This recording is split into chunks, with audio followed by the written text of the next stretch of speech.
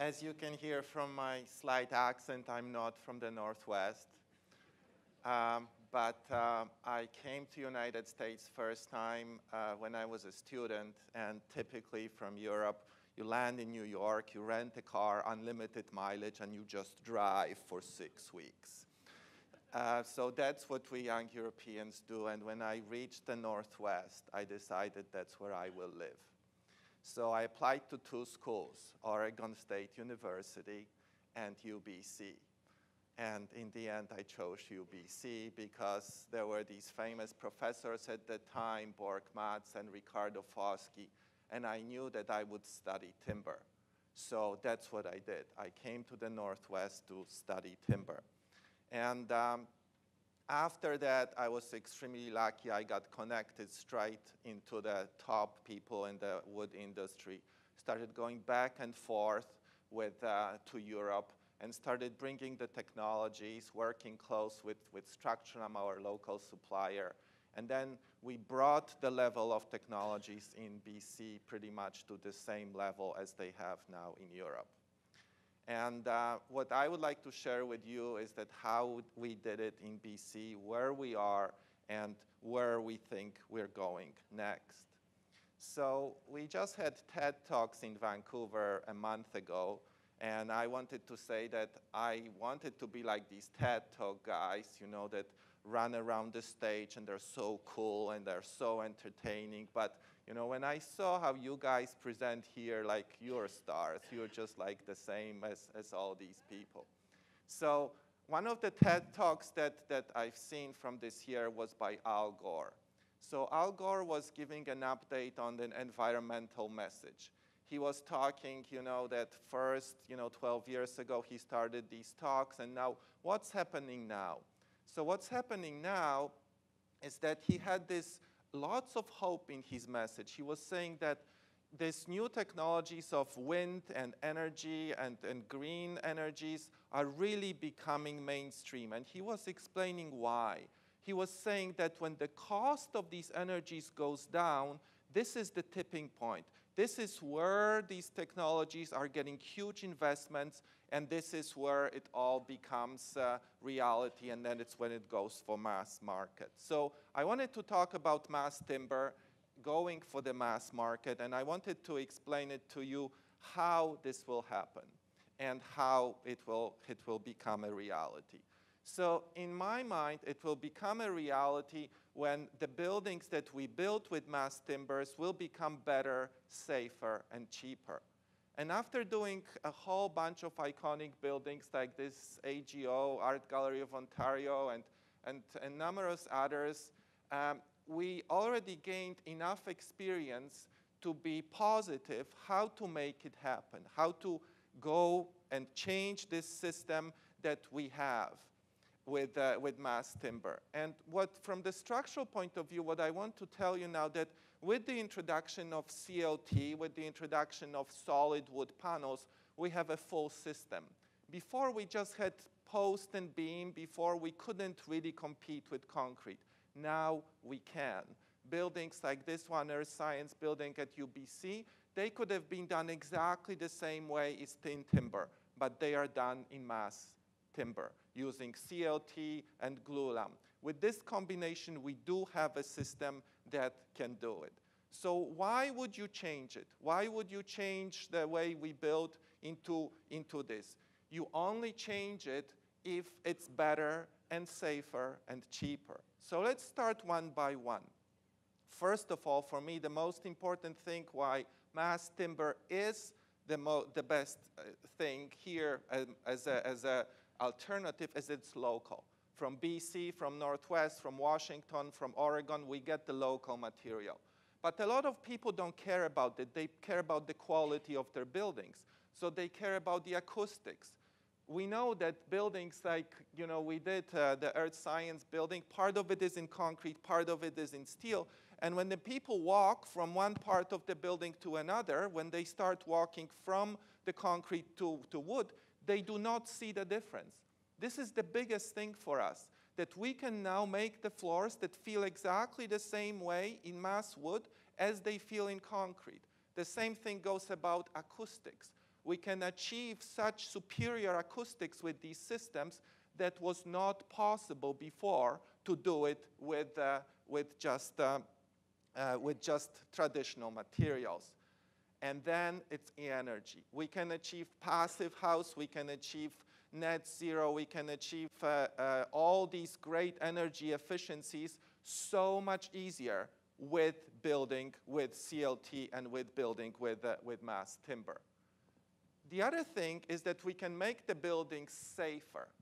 And what does it mean for a structural engineer to make the building safer? It's the resiliency. Resiliency is what we as structural engineers want the building to fully withstand the forces of earthquake, hurricanes, floods. We want these buildings to be fully occupational right after the event. So this building on the slide here, this is uh, an office building, five-story office building in Taiwan. And uh, some of you engineers that know Taiwan, you know that this is the highest seismic zone in the world and also very high hurricane zone. So what happened last summer, they had a super hurricane. Don't know if you remember, midsummer, they had a super hurricane. So what do I get? I get a phone call in the middle of the night that your building is shaking.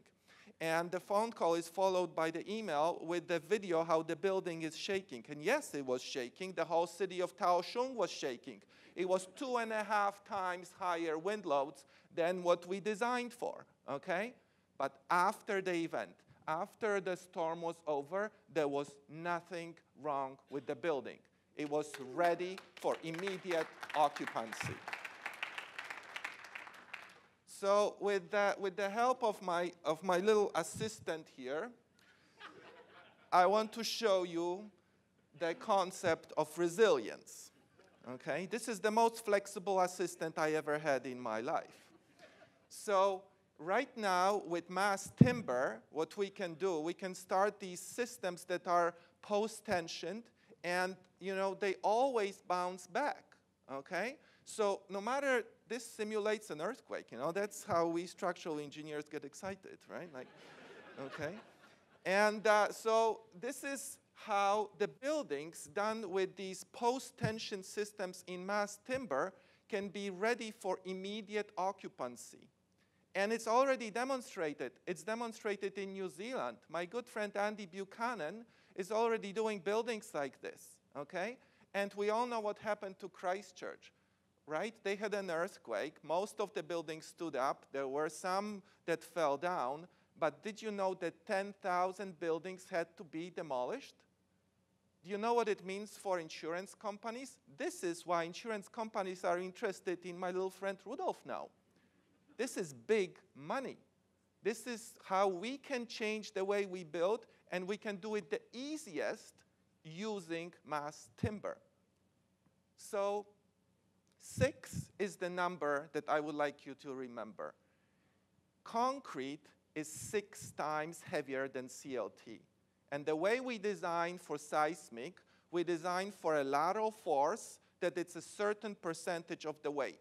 So if your floor is similar in concrete as it is in CLT, and most of the time it is, and if your walls are the same time, so your dead load of your building is one-sixth of that. This is why Gavin yesterday was showing that he can add all these flats on the building.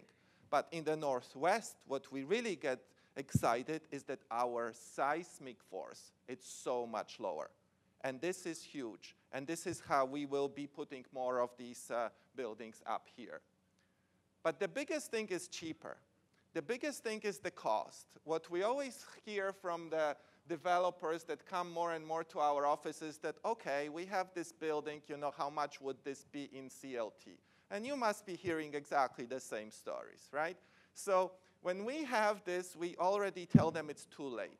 You cannot design a building where it's already designed in one material and just do exactly the same in CLT. We can really help as designers, as architects and engineers, we can make the buildings so they are done exactly for CLT for mass timber. And there are a few tricks that, that you can do, a few basic rules. And one of these rules is that you want to use as many panels that are exactly how they are fabricated in the building. The cost goes dramatically down if you actually do this. The other thing, you want to use as many big panels as possible to lower the whole time of construction and lower the number of lifts on a building. It makes a huge difference for the overall, overall cost. So how do we do it? I will look at few types of buildings and I will talk first about the houses. Now, we have a great system here in the Pacific Northwest, which is called wood framing. And houses are done this way, and we should keep doing it like this. It's just absolutely wonderful to have this system, and we will continue doing it. Then there are high rises. We work with Michael Green. We get all excited. You know, there is this race to the world, you know, like in Vancouver now 14 stories, in Bergen 13. We're now involved in the one that will be 20, and you know the race will keep going on. But this is not where the majority of the lumber will be used for. The majority will be used in mid-rise. In mid-rise, in our growing cities when there is a densification going on, and there will be a lot of buildings done between this 6 and 12 stories. And there was actually a great marketing story done in the United States that found out that the sweet spot for mass timber is six to eight stories. This is where mass timber can provide cheaper solutions than concrete. We should all remember that. And this is exactly how this will start. And that's a little example from, from Vancouver, what we're designing right now. This is a building called Tomo. Tomo stands from Together More. And when I came to the, to the first meeting, I was afraid of a group hug. and you know, as engineers, we're kind of more like, leave us alone and let us work on our software. Anyway, it turns out that it really requires working together on a building like this. And here, the private developer is making a building on a typical lot with no subsidies in a mass timber in passive house format and prefabrication. And you would ask why? Okay? To achieve passive house, and he's getting a special deal from the city, minimizing the number of parking lots because the city wants passive houses. To achieve passive house in typical 8-inch block for side walls, it's almost impossible. It costs so much money. But to achieve it with, with large prefabricated CLT panels, it's just the cheapest way. So prefab also will make it build much faster, okay? And the resiliency, the developer wants to keep this building. He wants to have an office, his own office on top of there. And he knows what happened to Christchurch. He knows that ultimately, maybe there will not be enough insurance for all the buildings that will fall down. He wants this building to be ready for immediate occupancy after. Sooner or later, something will happen in our region. So what you can do to make it happen. But before pointing a finger at you, you need always to put the finger at yourself. I live in a passive house. I live in a passive house that has CLT floors, and uh, it has glulam post and beam, so it's a true mass timber. Yes, we made our own mistakes. I made mistakes with acoustics, but the passive house was done right, and it's, it was the first registered passive house in the Northwest. So it is possible. And yes, I did pay 15% more for this, but all of you here and all of us who are in design and fabrication, we have a personal responsibility to start using these technologies for our own buildings. And this is how we should start. But as a public, whenever you buy a house, whatever, you should ask for quality. You should ask for better uh, acoustics. You should ask for better um, uh, thermal, better, better energy consumption. The developers will listen and they will change the way we build. So this is, if you're in an industry, start with the small steps. Just like in business, you start with incremental investments. Start with doing elevator shafts. Start with doing parts of the buildings in CLT. Then you will see that it can be cheaper, it's easier to incorporate the services, mechanical, electrical, and then you will win over. And as a government officials, you guys can actually do the most. You can help us change the codes Just like in BC, we changed the codes to allow six story buildings, you need to do the same. We're now doing buildings both in Oregon and in Massachusetts, and we're actually trying to convince the, the governments there to change these limits. We also need to change the, the, the requirements for energy to make our, our buildings more energy efficient. My house has walls that are R47. All my neighbors think that I'm nuts. But the heating source, it's me and my wife. Okay? When you have walls of R47 and R80 for the roof, you don't need much. Okay? And the cost is not that much higher. So what we have to realize that here between Oregon, between Portland, Seattle, and Vancouver, we do have a cluster. Look how many speakers are from here. Look how much we already achieved. We have fabricators in Oregon, in British Columbia. We do have a center of excellency. Look at all these European companies. They don't come to New York, they come here.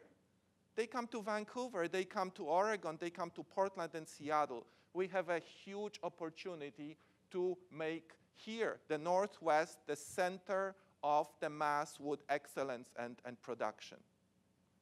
So I would like to finish with this. You know, how do we make sure that we succeed in this task of changing the way we build. And the way I think we do it, we change the requirements how we make it build. We ask for better acoustic.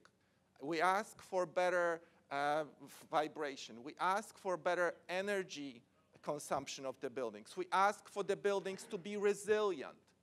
And then when we ask for all of these things, the price will go down. And remember what Al Gore said. When the price goes down, the serious money will invest, there will be a large push, and this is how mass wood will reach the mass market. The buildings will become better, safer, and cheaper. Thank you.